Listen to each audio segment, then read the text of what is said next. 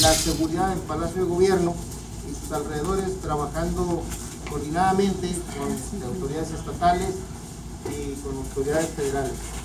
Eh, vamos a tener la participación de un poco más de 500 elementos con la finalidad de resguardar la seguridad de la ciudadanía.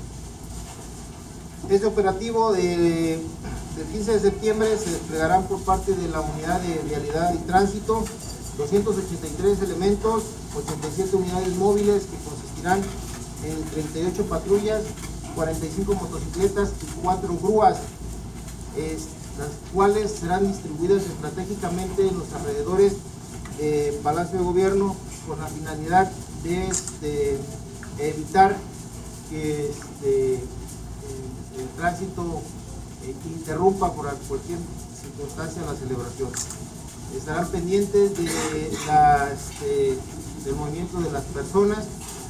Los vehículos estarán, este, serán canalizados por otras vías alternas y eh, se estará también asegurando el paso de las unidades de emergencia en caso de ser necesario.